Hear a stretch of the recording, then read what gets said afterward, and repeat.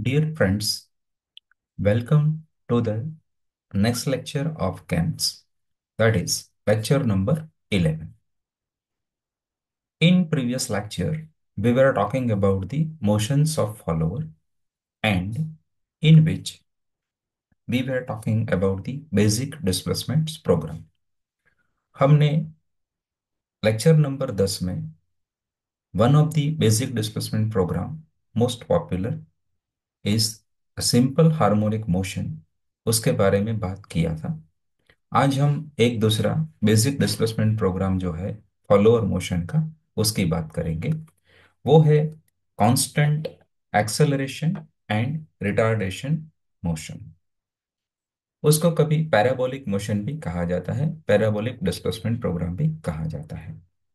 उसमें ये होता है कि फॉलोअर की जो मोशन होती है आइदर लिफ्ट और फॉल तो अगर लिफ्ट है, मान लो कि 90 डिग्री तक का उस कैम का रोटेशन होता है, तब उसका लिफ्ट होता है तो for the half of the motion means 40 degree 45 degree rotation जब कैम का होगा, तब तक फॉलोअर एसेलरेटिव मोशन करेगा और बाकी के 45 डिग्री में फॉलोअर डिसेलरेटिव मोशन करेगा। Means it is a for a lift combination of acceleration for the half of the motion and deceleration for the remaining half of the motion. Let us consider some parameters. Here हम S use करेंगे follower का instantaneous displacement note करने के लिए H बताता है कि follower की मैक्सिमम लिफ्ट क्या है मींस फॉलोअर का डिस्प्लेसमेंट क्या है मैक्सिमम V से हम वेलोसिटी डिनोट करेंगे फॉलोअर की, और F है वो एक्सेलरेशन बताता है। Theta represents the cam rotation angle instantaneously means point to point moment to moment cam का रोटेशन कितना है, वो थीटा से दिखाया जाएगा। और फाइव इंडिकेट करता है कैम का rotation for the maximum follower displacement means कि पूरा लिफ्ट होता है फॉलोअर का, तब तक के लिए कैम का रोटेशन कितना होता है। दोस्तों, अब हम ग्राफिकल मेथड देखेंगे, इस कांस्टेंट एक्सेलरेशन और रिटार्डेशन मोशन कैसे प्लॉट किया जाता है। तो नेक्स्ट स्लाइड में चलते हैं। और अंडरस्टैंडिंग ए पर्टिकुलर केस हम कोई डेटा लेते हैं। For example let the follower rise means follower का लिफ्ट होता है एच वो 40 एम mm है। और उसके लिए कैम का रोटेशन जो है फाई वो कंसिडर करते हैं कि 80 डिग्री है। तो उसको ग्राफिकल प्रेजेंट करने के लिए हम पहले स्केल डिसाइड कर लेते हैं। तो कैम रोटेशन के लिए हम स्केल लेते हैं one degree is equal to one millimetre and follower का लिफ्ट के लिए मीन्स राइज के लिए हम स्केल लेते हैं one millimetre is equal to one millimetre अब उसको ग्राफिकल मेथड को मेथड मेथड से प्लॉट करने के लिए हम कैम रोटेशन को हॉरिजॉन्टल एंग लाइन पे रखेंगे मींस एक्स एक्सिस पे. तो यहाँ one degree is equal to one M M है और हमारा उसका कैम का रोटेशन है five is equal to eighty degree तो एटी एम एम का हमें हॉरिजॉन्टल लाइन ड्रॉ करना है। So draw a line horizontal line which having a length is equal to eight zero M M आप ये line draw कीजिए eighty M M या ये लाइन भी ड्रॉ कर सकते हैं इसका लेंथ है एटी एम एम अब फॉलोअर का लिफ्ट जो है, उसको वर्टिकल एक्सिस पे लेना है तो वो है फोर्टी एम एम तो 40 एम mm की लेंथ की आप वर्टिकल लाइन ड्रॉ कर दीजिए। आप ये लाइन ड्रॉ कर सकते हैं, या अगर पहले हॉरिजॉन्टल लाइन ये ड्रॉ की है तो ये लाइन बनेगी। Means you have to prepare a rectangle box having length is equal to 80 M M it is this and width और लेटेस्ट से height is equal to 40 M mm. तो ये हमारा एक रेक्टेंगल बन गया। Now divide this horizontal length rectangle की जो लेंथ है उसको equal number of even part में डिवाइड करना है। आप चार पार्ट में डिवाइड कर सकते हैं छः में आठ में दस में बारह में सोलह में ऐसे। जैसे नंबर ऑफ़ पार्ट्स बढ़ेंगे तो डिस्प्लेसमेंट ग्राफ जो फाइनली बनेगा उसकी एक्यूरेसी बढ़ेगी। लेकिन बहुत ज़्यादा लेने की ज़रूरत नहीं है क्योंकि वो टाइम कंज्यूमिंग बन जाएगा। सो so, बेस्ट है कि हम ऑप्टिमम नंबर ले दैट इज़ एट नंबर तो आठ इक्वल डिवीज़न में हम उसको डिवाइड करते हैं। यहाँ उसका लेंथ 80 एम mm है तो हर एक 10 एम mm पे उसका मार्किंग होगा। Point one two three four up to eight और ये सारे पॉइंट से अब हम वर्टिकल लाइन ड्रॉ कर दीजिए। वन से ये वर्टिकल लाइन ये टू से थ्री से फोर से सब्सिक्वेंटली तो आपका जो ये रेक्टेंगल है वो इक्वल एट वर्टिकल पार्ट में डिवाइड हो जाएगा। अब आपकी जो मिडल लाइन है, ये फोर नंबर से पास होने वाली जो मिडल लाइन है, उसको भी इतने ही इक्वल इवन पार्ट में डिवाइड कर दीजिए। तो हमने हॉरिजॉन्टल लाइन को एट पार्ट में डिवाइड किया था तो वर्टिकल को भी एट पार्ट में डिवाइड करना है। और वर्टिकल लेंथ है हमारी रेक्टेंगल की हाइट है फोर्टी एम एम तो उसको हर पाँच एम एम पर मार्क करेंगे। So let us mark them point one two three up to eight so, this is, this vertical middle line is also divided into eight equal parts. अब दोस्तों, हमें क्या करना है? आप ये लोअर मोस्ट कॉर्नर ले लो लेफ़्ट साइड का दिस पॉइंट और अपर मोस्ट राइट साइड का कॉर्नर ले लो रेक्टेंगल यहाँ का, और यहाँ से एक आप डायगोनल ड्रॉ कर दीजिए दिस वन ये कॉर्नर को दो कॉर्नर को ज्वाइंट करने वाला। Lower left and top right अब यहाँ पर जो हमने वर्टिकल मिडिल लाइन पे जो वर्टिकल पार्ट किए थे, जहाँ one two three four mark किए थे, आप यहाँ से एक इंक्लाइन लाइन ड्रॉ करना है। Which will join this lower most corner lower left corner to the one point अब ज़ीरो वन लाइन मार्क कीजिए। Similarly draw zero two joining this two point similarly from zero to three zero to four करना ज़रूरी नहीं है क्योंकि वो तो diagonal already हमने ड्रॉ कर दिया है। अब ये पाँच नंबर का जो पार्ट है फिफ्थ पॉइंट है उसको आप राइट टॉप कॉर्नर से ज्वाइंट कीजिए। यहाँ से ये फाइव सिक्स से लाइन ड्रॉ कीजिए। ये अ, ये कॉर्नर तक सेवन से ये कॉर्नर तक। In this way all incline lines zero one zero two zero three five eight days six eight days seven eight days आपको मिल जाएगा। अब हमें कर्व के लिए पॉइंट आइडेंटिफाई करने हैं। तो अब ये फ़र्स्ट पॉइंट से जो वर्टिकल लाइन ड्रॉ की थी हमने, वो ध्यान में लीजिए, और ये ज़ीरो वन को जोड़ने वाली जो इंक्लाइन लाइन थी, उसको ध्यान में लीजिए।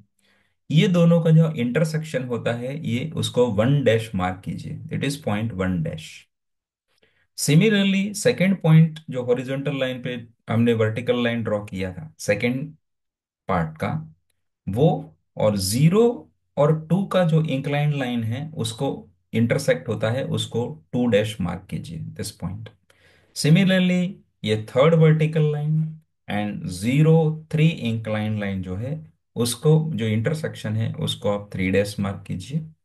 फोर डैश जो डायोगोनल और वर्टिकल का इंटरसेक्शन है वो बन जाएगा।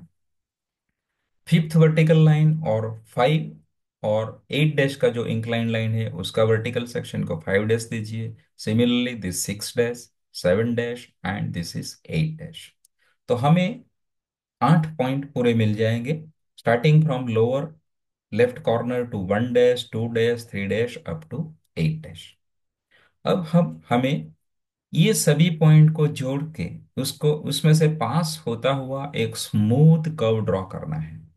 You have to draw a smooth curve passing from all this point and that represents nothing but the constant acceleration and deceleration displacement program of the follow अब उसका हम एनालिटिकल पार्ट देखते हैं।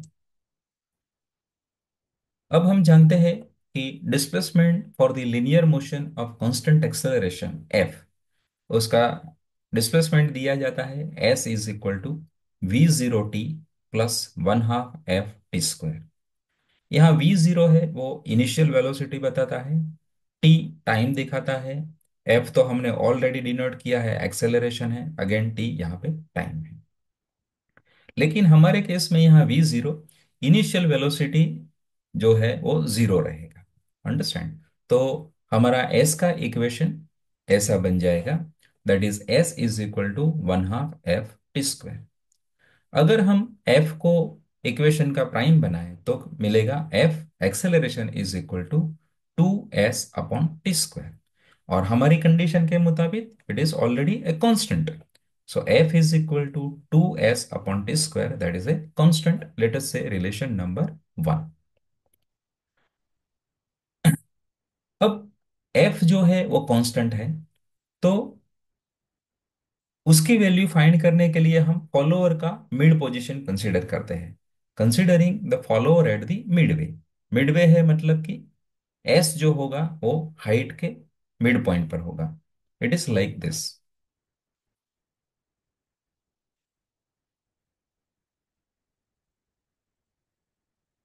at this point s this displacement is at the midpoint it is h by 2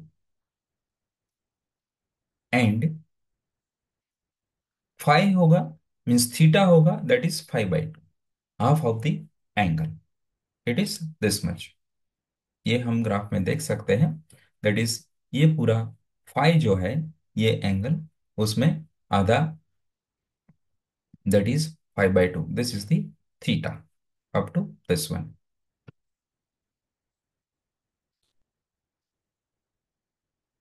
So theta is equal to phi by 2 and that is equal to omega into t. Omega is nothing but the angular velocity and t is time. So angular velocity into time is displacement that is theta and here it is phi by 2.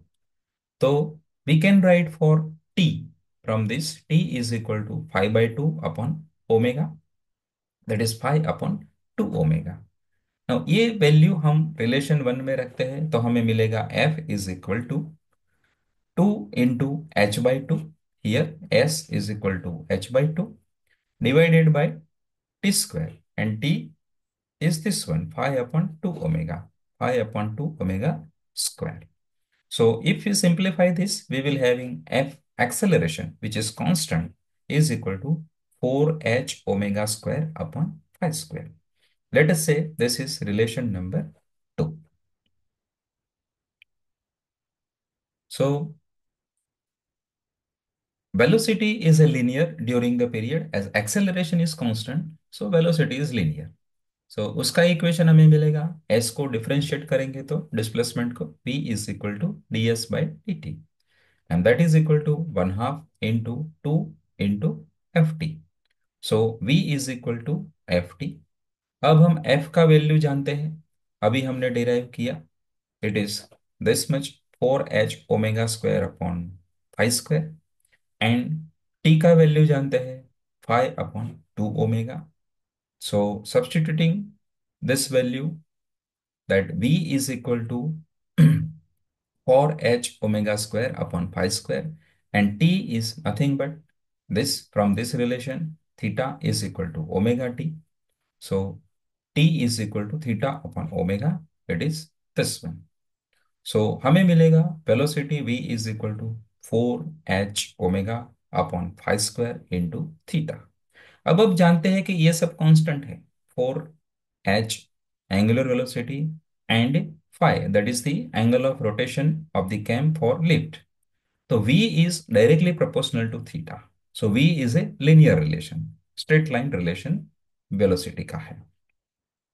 So the velocity is maximum when theta is maximum theta कब maximum होता है? Means when it is pi by 2 means at the midway of the follower displacement जब theta five by two होगा तब velocity maximum होगा तो theta is equal to five by two substitute करेंगे तो हमें मिलेगा v max is equal to 4h omega upon 5 square into 5 by 2 that is value of theta it is this one so simplifying this maximum velocity is equal to 2h omega upon 5 और ये सब के पर से हम velocity displacement acceleration और jerk का diagram बना सकते हैं। तो वो कैसे रहेगा? So it is like to be this तो सबसे पहले हम डिस्प्लेसमेंट डायग्राम की बात करते हैं। तो उसके लिए फॉर एग्जांपल हम कुछ टर्म ले लेते हैं। मान लो कि zero to twenty degree cam का रोटेशन होता है, तब तक फॉलोअर डवेल रहता है, उसका कोई मोशन नहीं है।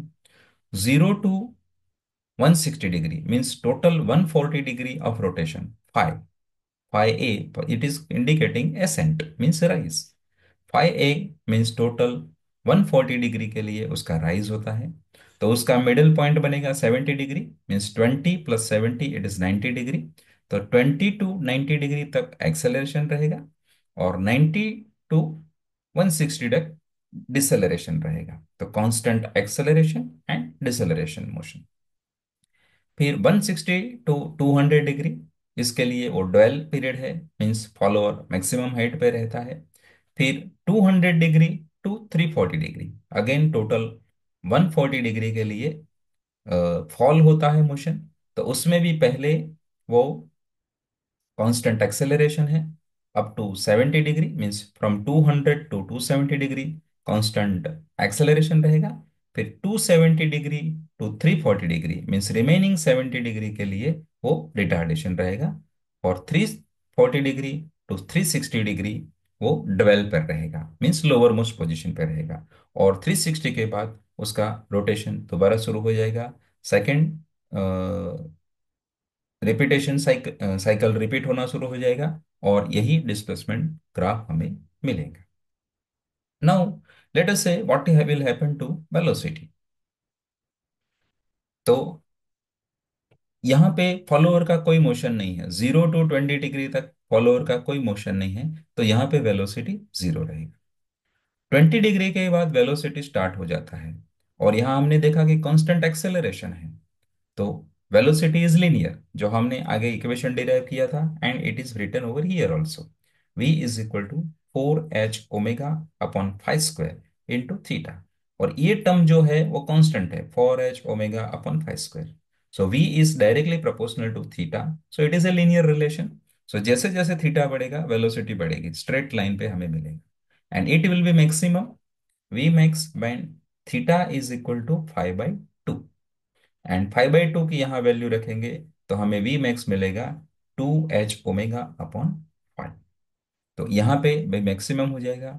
फिर रिटार्डेशन स्टार्ट होगा। From 90 to 160 degree that is a retardation again velocity will reduce linearly and will become zero at this point, where the follower is dwell दोबारा जब फॉल स्टार्ट हो जाएगा तो again it is a constant acceleration and retardation motion तो again velocity will follow this equation, linear relation जैसे जैसे theta बढ़ेगा, velocity बढ़ेगी, वेलोसिटी ज़ीरो से बढ़ के चलती है and it becomes maximum when theta becomes five by two means 200 से 270 डिग्री चलेगा मीन्स टोटल 140 डिग्री में से 70 डिग्री तक आया, तब उसका वेलोसिटी बढ़ा। Again from this there is a retardations means velocity will decrease from maximum to zero linearly and here at 340 degree the velocity will be zero and that is a dwell period आपको question होगा कि velocity उल्टा क्यों दिखाया है it is on upper side it is on lower side it is only for to distinguish this part is for rise and this part is for fall it is for return there is no other meaning of this magnitude point of view velocity is remaining same अब दोस्तों, आगे देखते हैं acceleration का क्या होता है। So this represents the acceleration diagram in addition to the displacement velocity.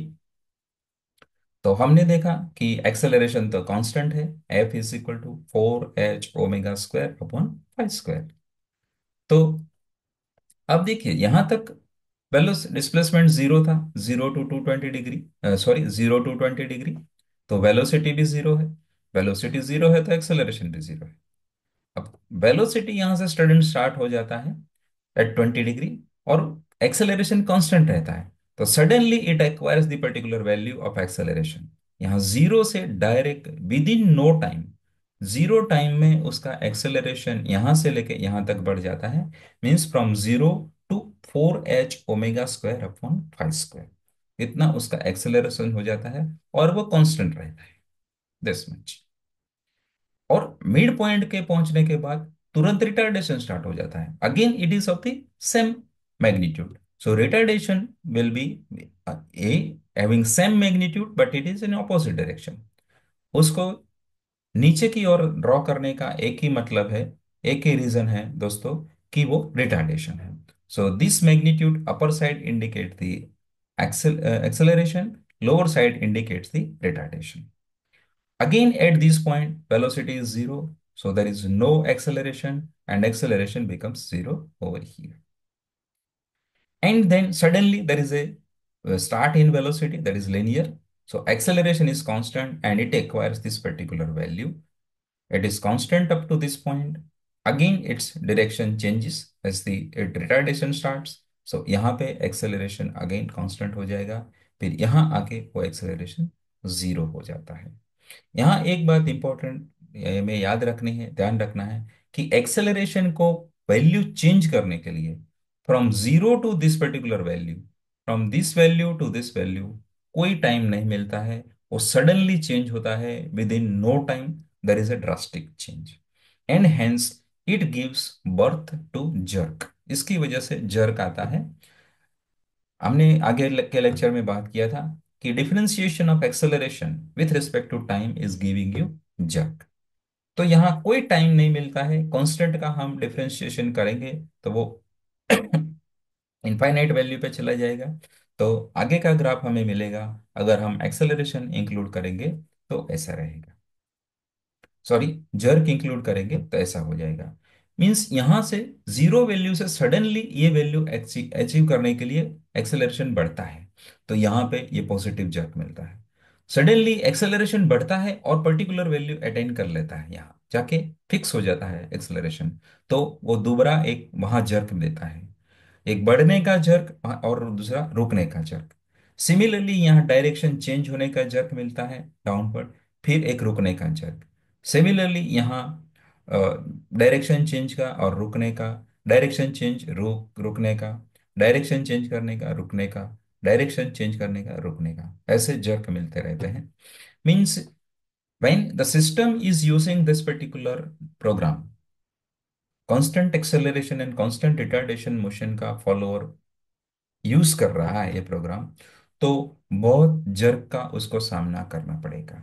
And this is not a good dynamic behaviour अगर स्पीड बहुत ज़्यादा है और कैम सिस्टम का मास भी ज़्यादा है तो ये कैम्प्स फॉलोअर सिस्टम के लिए बहुत हार्मफुल है, बहुत सारे डेट्रीमेंटल इफ़ेक्ट उसके आ सकते हैं।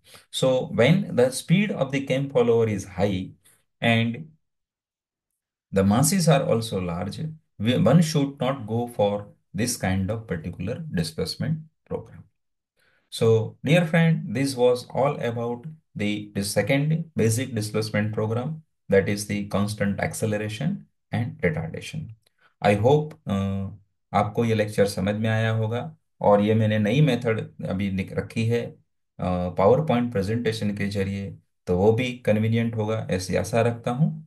अगर आपको अच्छा लगा है तो आप अपने दोस्तों को बता सकते हैं। You can share this and you can subscribe also thank you